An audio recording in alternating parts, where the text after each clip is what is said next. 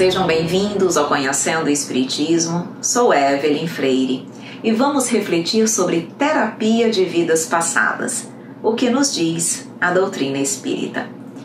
Esse é um tema ainda considerado polêmico, tanto no meio científico quanto no meio espírita. No aspecto científico, a discussão está no fato de se considerar a reencarnação como uma premissa, quando a ciência ocidental encara tal fato como algo religioso ou místico e, como tal, não pode ser considerado objeto de estudo. A doutrina espírita, embora apresente a reencarnação como um processo natural, questiona até que ponto é válido acessar experiências de vidas pretéritas e considera três pontos: a necessidade do esquecimento do passado, o não se poder interferir no processo de sofrimento causado por situações do passado e o fazer regressão por curiosidade. Os espíritos nos informam quanto aos inconvenientes trazidos pela lembrança do passado. O recordar das nossas individualidades anteriores poderia nos humilhar ou nos exaltar o orgulho, dependendo das nossas experiências vividas, dos acertos e dos erros cometidos e principalmente da nossa evolução moral. Poderia mesmo trazer efeitos desastrosos às nossas relações sociais. E é por isso que não devemos buscar saber do nosso passado por curiosidade apenas, sem que haja um fim realmente útil. Deus nos garante o necessário para viver, que é a voz da consciência e os instintos.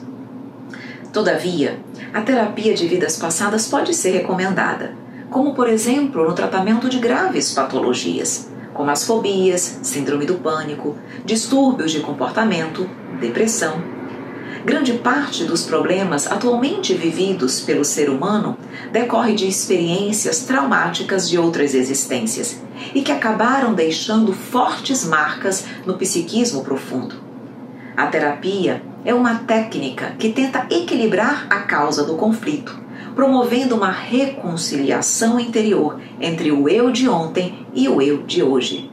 E o tratamento começa tornando conhecido o conteúdo traumático do pretérito. Após essa lembrança, faz-se um acompanhamento cuidadoso, delicado desse conteúdo, procurando equilibrar as emoções. Essa terapia, como todos os outros tratamentos, tem as suas limitações, mas tem também a sua importância na diminuição do sofrimento humano.